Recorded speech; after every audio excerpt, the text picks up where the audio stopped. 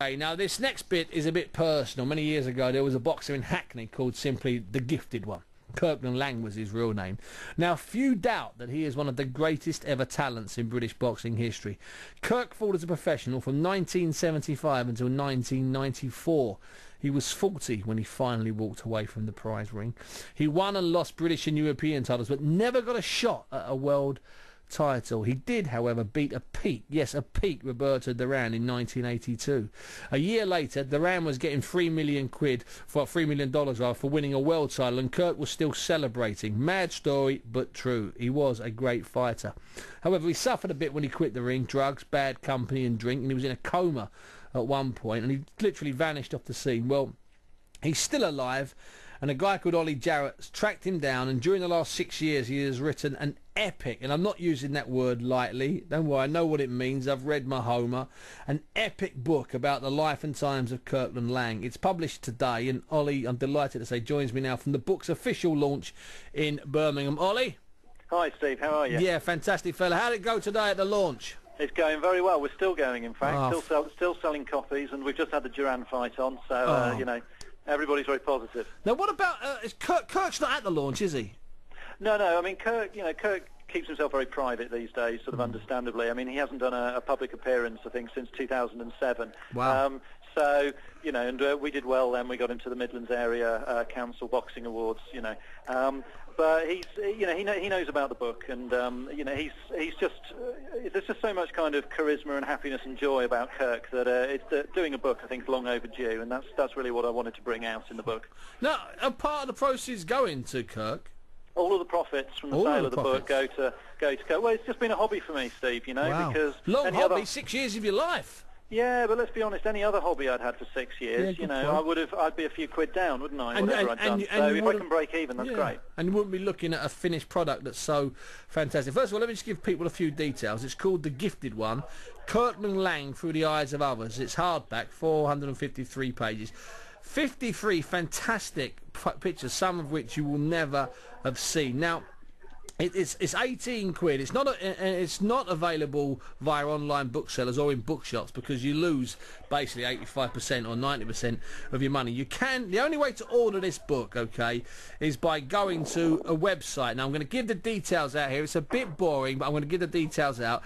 It's Oliver Jarrett and it's O L I V E R J A R R A T dot com.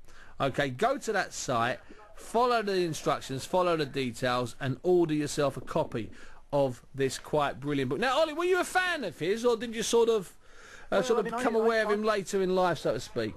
Well, you see, I mean, I, I kind of grew up in my, my sort of late late teenage years, sort of watching him on Sports Night and mm. you know midweek sports special, that kind of thing, when he was near probably near the end of his championship career, yeah. um, late 80s, early 90s. And so when I started getting into all of this and finding out all about him, I mean, I was you know amazed to find him uh, winning the ABA title in uh, in 1972. And you know he should have been the Amir Khan of his day. Yeah. Um, because you know won that should have gone to Munich um, and, Deserved to go know, to Munich. Exactly, and the amateur boxing politics, you mm. know, meant he didn't go. Yeah, what, um, what, I um, find amazing on is you've managed to track down his am full amateur record, and he fights something like three times in the sort of six weeks after the winning the ABA final and loses, I think, two of the three, which was a really stupid thing to do when you're pushing for an Olympic place. I mean, things have done so much, so, so different back then. Or did he did he realise instantly that he, he, had no chance of being selected? Well, I, I, think though what happened was when when he won the ABAs, the selectors yep. then said, well, that's not the end of the story. We're now going to have Olymp- we're now going to have Olympic trials and Olympics um, selection yeah. uh, fights.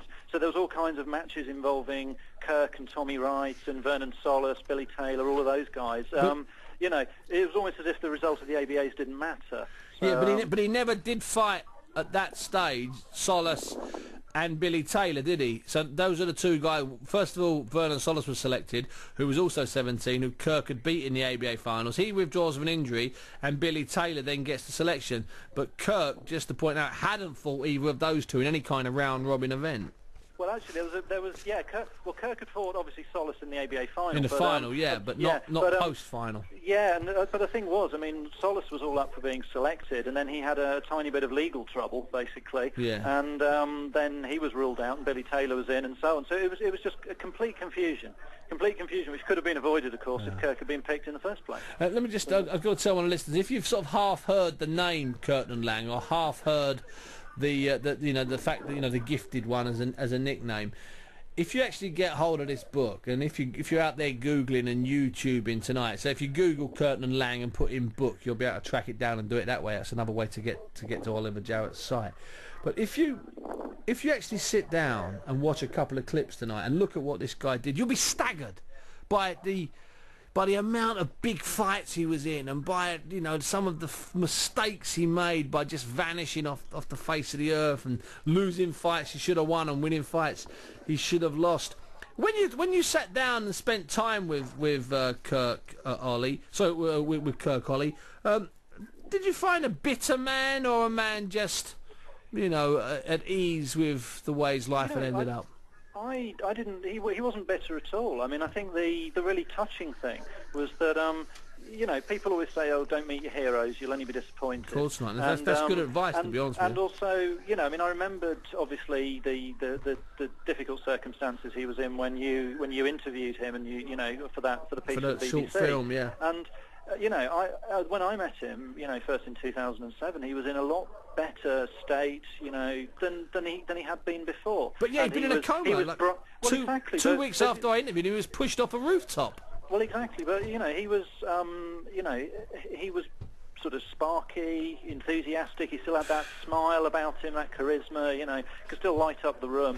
And again, you, you talk to him about some things. Like you talked to him about Duran and you know the ABAs, all of that stuff. And he remembers it like it was yesterday. Yeah, he and, did. Um, I agree and with that, and that was the joy of meeting him. You know, and I, I wasn't disappointed in any way when I met him. It was a wonderful experience. No, and, and, and did so for me. I mean, we made that short film. It's also available on YouTube. Uh, for the BBC, which was so undermarketed by the BBC, I was ashamed to be part of the system for a while. It was disgraceful. Ollie, tell us about the London launch. Tell us when it's coming up. Well, the London launch is this Sunday. It's the uh, the 18th of October. It's in a pub called the Old Red Cow in Smithfield Yep. uh, on Long Lane. Um, and yeah, it's starting uh, starting at noon, going on till four. And so, because as, as you've said, it's uh, it's uh, it's a heavy old book. It is If a people come- isn't it? Well, exactly. But if people if people want to come along and save themselves the postage cost, and also meet you know a whole number of other people who are going to be Sure. there, um, And get it you know, um, absolutely, get it signed by all means. Now, and um, just generally have a good time because it's a nice pub as well. Yeah, exactly. So- You've only printed 1,200 of these, and, and I've, got to, I've, got, I've got to tell people that this book will sell out. And I'm telling you that now. So, uh, And I'm, first... not, I'm not printing it again. No, no, no. It's, it's you- the only run. Oh well, I'm telling you, it'll sell out because there are for all sports books, three or four hundred people who just buy them anyway because they're sports books. Okay, so that's not taking into account the loyal, uh, the loyal Kirkland Laing fans. Oh, by the way, um, um, I need another one for my show on Tuesday. Jason's meant to give you 18 quid, and then I'm going to give him the 18 quid on um, Tuesday. Yes, Ollie, he- can you can you arrange that? He gave me a call today. I'm, I'm doing a secret postal drop somewhere in Solihull Oh, good. Yeah, weekend. ma- make, make, make, uh, make, uh, listen, you, you'll get paid for that. It's not a freebie. no, no, no, trust me, it's not. That's for my auction on Tuesday night at the Dublin in Digbeth. Ollie Lovely. Jarrett, thanks very much indeed for joining us here tonight at BBC London 94.9. Ollie Jarrett there.